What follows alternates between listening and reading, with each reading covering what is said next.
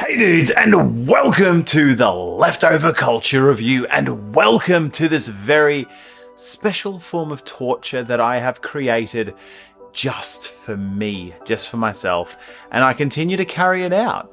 A couple of years ago, I picked up Sega's very own Art Alive, developed in 1991 as like the MS Paint answer to developing your own artwork on a Sega Mega Drive. And I had this idea to do a whole series of artworks using nothing but a Sega. So that's kind of what I've been doing. I have been recording myself pulling together a few pieces of art using a Sega Mega Drive.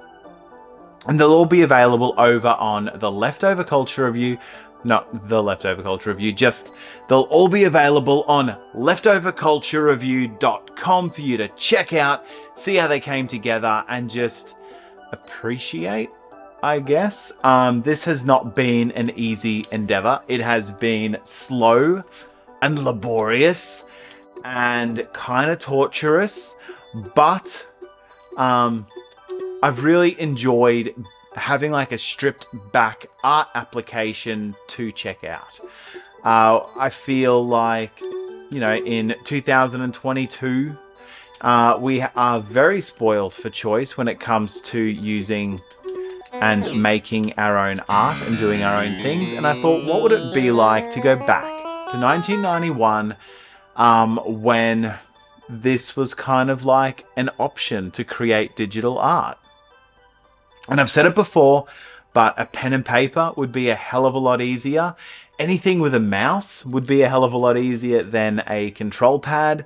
But what we do have um, that the PC users at the time didn't is uh, a fantastic arrow and circle tool which I have been using extensively. And if you've seen any of the other episodes, you have definitely watched me slowly move a cursor around a screen, making little lines as I go. Actually, I, I always use the biggest width. Um, again, I just think that if you're going to put a line down, you've got to be confident about it, which sounds great in theory, but there are so many of these episodes that I've started and I've stopped and I've deleted because they just have not turned out the way I wanted to. But I always live in hope that this piece will look better than the last piece and so on and so forth. So definitely let me know in the comments if you've had any favorites so far. I would love to know that you've actually been watching and enjoying some of these Art Alive videos because um, the videos are kind of just a byproduct. Like I was going to make a series of art regardless. Um, obviously, I would love it.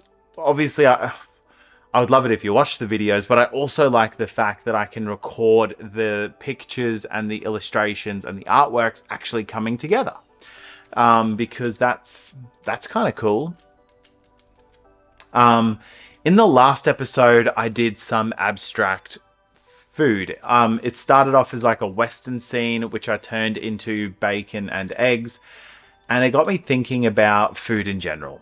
And then it got me thinking about when I was a kid. I remember seeing like this fishbone pattern like a lot.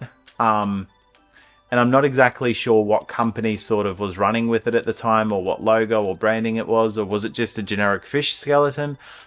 I don't know, but there was something that kind of stuck with me about the skeleton of a fish just being like kind of spiny and um, not super tasty looking.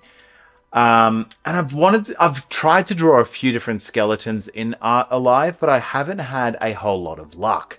Mostly because I'm running out of space. Um, every time I like try and use Art Alive, um, the composition part is really hard to nail because you can't really do like preliminary sketches. You can't sort of like um, work out how you want the picture to look. And maybe there's definitely more talented artists out there who know what their composition's going to look like as they start and could probably use an application like Art Alive quite easily because they know what they're going for and they have a very clear idea and a vision in their mind. But that is not what we're doing here today. I had an idea to do a fish skeleton and I'm rolling with it. And if it turns out fantastic, and if it doesn't, this episode never existed. You are never going to see it. Um, but I think we're off to a pretty solid start. Like, we're not doing anything too complicated here for this piece. I really just wanted to, um, like I said, create a collection of art designed in Sega's Art Alive. And I kind of, yeah, just thought a fish skeleton would be really cool. Um, especially because it's nostalgic for me. Um, seeing them everywhere, not knowing exactly what they meant, but I definitely wanted one. Um, and that's why I do all this is nostalgia. It's all about trying to recapture this piece of my past, which was simple and easy and just you're in it because it's fun. You're not doing it because it's um I don't know, like it's not work, it's not a job. Everything that we're sort of doing here is for the fun of it. There's no there's no real stakes at play. Um, and a lot of a lot of the art and a lot of the stuff that I create is about capturing that sense of nostalgia for me as well. The same as having this games room. Nostalgia is an incredibly powerful feeling for me. Um, I don't really have uh, the ability to empathize with people. I can't feel sad if someone feels sad. I can't feel happy if someone feels happy. I'm I like to think I'm pretty neutral in in that respect. If someone's you know, I, I'm never malicious. I don't like wish bad things to happen to people. I don't um I don't really get that sense of Schadenfreude where you take delight in other people's misfortune. But on the flip side to that, I don't really take delight in their wins either. I um very much try and stick in my lane. But one way that I have found that I really enjoy connecting with people is through nostalgia, which is probably why um, the leftover culture review has been so good for me because it's nothing but nostalgia all the time. Um, and that is kind of the inspiration behind this picture here. It's obviously a fish skeleton to anyone who looks at it, but for me, it is capturing a feeling of nostalgia that I had and that I really wanted to share with you guys as well.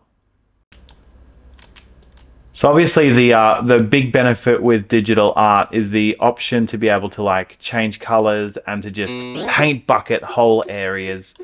Um, I wonder what color I want my skeleton to be.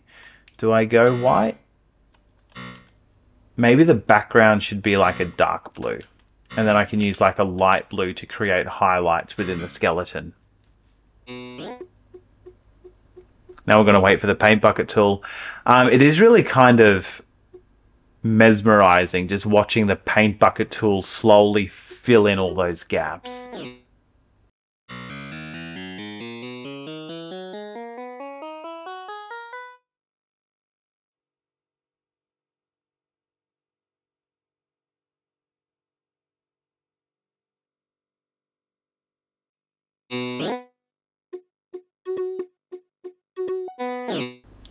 And then what I can do now is use a lighter blue to continue sort of like the um, the detail within the skeleton itself. So for anyone who's been watching these videos, you might know that Art Alive really just gives you 16 colors at a time to play with. Um, just another one of those fantastic limitations, but one of the first things that I really learned in art class was if you've got like unlimited rein to do whatever you want, the the decision and the choices that you mm-hmm. need to make can feel particularly paralyzing. But when you're mm. using a, a program like Sega's Art Alive, you don't really have that many options already. You are already starting with a limited set of tools, a limited set of colors, and a limited set of screen resolution. And obviously you're trying to do all the art using a Mega Drive controller. So in terms of um, limitations, this game is full of them. And if you are feeling confident and cocky, uh, definitely give it a crack and see what you can come up with because it's definitely a, it, it's a lot harder than it looks. Um, but I have to admit that at the very end of the process, I've really enjoyed seeing some of the results. Some of the pictures have turned out so much better than I could have ever anticipated. And I think like a part of that is just because there is so many um, limitations, but also so many unknowns as well. Like when you start the picture, you can have an idea of what you want to do, but it's never going to turn out the way you expect it. It's always going to be um, different. You're going to have to adapt and make compromises as you create your artworks.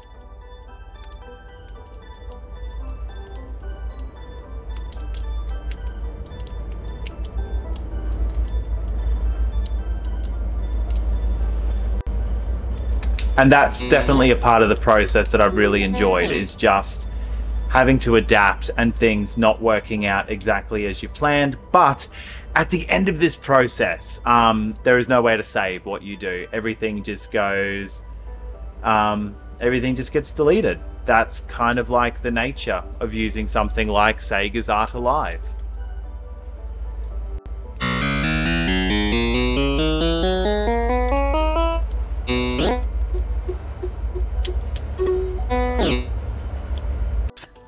one thought I did have for our little fishy friend here was that he could be sitting at the very top of a trash can. Um, discarded, disused. Um, I do have like, I talked about food already, but um, in the last, in the last um, episode I did, where I did my Western also um, breakfast scene, I talked about how much I love drawing food. Uh, the textures, like when you draw a burger and you've got the bun on top and all the different fillings. Um, but I, I also love drawing pizza. I don't know, there's something about food that's really fun to draw, and maybe just because it's so recognizable. But I'm kind of going a different route for this one where like obviously a trash can's not like instantly recognizable, but it's kind of where the food ends up. So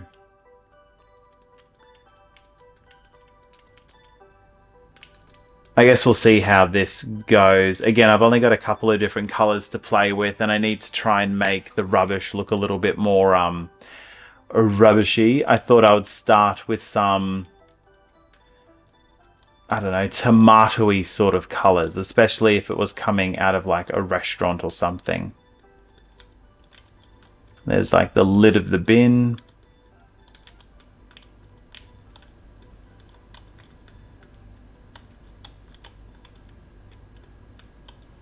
And we'll give the bin some lines as well.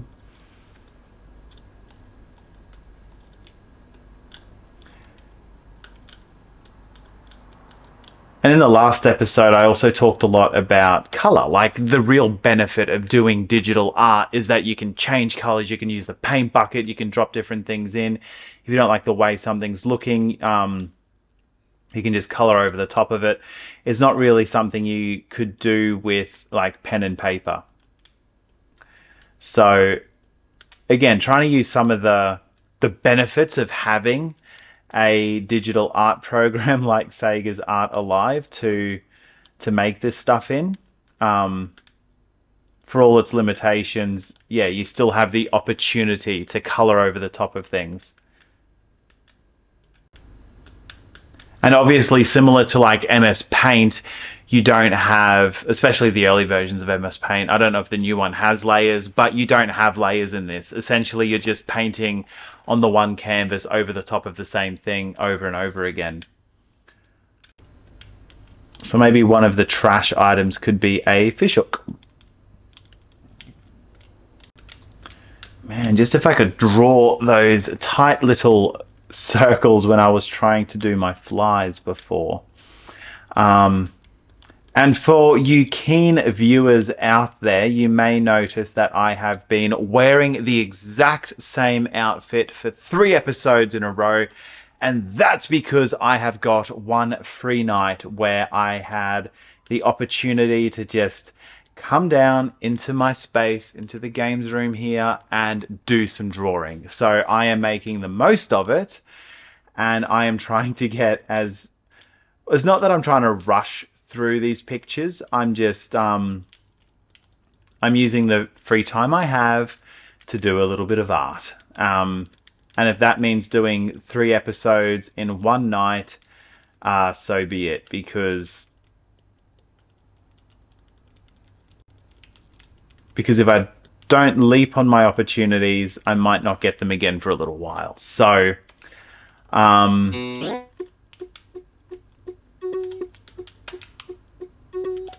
yes, making the most of a Friday night right here.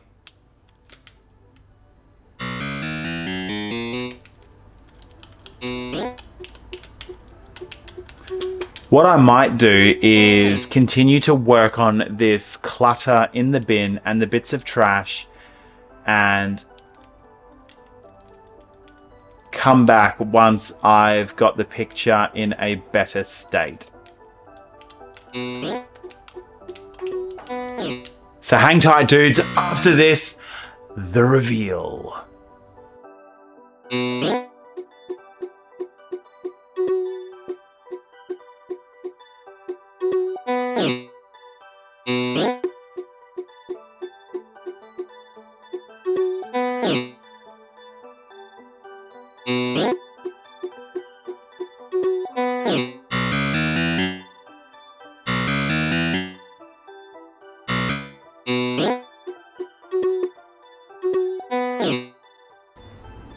So guys, I am ready for the grand reveal, which is why my hand is up, because I'm trying to cover the screen, but it's out of focus anyway. So, um, there you have it. It is a fish skeleton sitting on top of a pile of trash. And I absolutely broke my own rule with this one. I kind of only wanted to spend about an hour on each piece, but this one took a fair bit longer. There's a lot of details. It was a very finicky piece to actually finish, but I'm dedicated to finishing them all in one sitting. And tonight's been a big one. There's been three pieces done just because I had the time to do it, but it's well past my bedtime. So I really do appreciate that you guys hung around for this. Um, like I said, these pieces, all of the Sega Art Alive drawings, illustrations and artwork done on a Sega Mega Drive will be available on leftoverculturereview.com to check out, see the processes, and I'm also going to start adding them into the store so you can own your very own piece of originally designed artwork done on a Sega Mega Drive. Really appreciate you watching. Thank you so much for all the support. Um, and if you want to play along at home, I'd absolutely love to see some of your stuff. Hit me up on my social media. Sorry, it's a bit chilly. I'm not folding my arms to be rude. Um, hit me up on my social media. So you can find Leftover Culture Review on Facebook. You can also find me on Instagram, where I'm probably more active than anywhere else. Um, and that is leftover underscore culture underscore review and I will leave the links, you know, down below. They'll be on the website. I don't know. You can find me. I trust you guys. You're smart, you're intelligent, you're switched on, and you know how to navigate the internet. So definitely hit me up, check out the website, and stay tuned for some more leftover culture. Cheers, guys.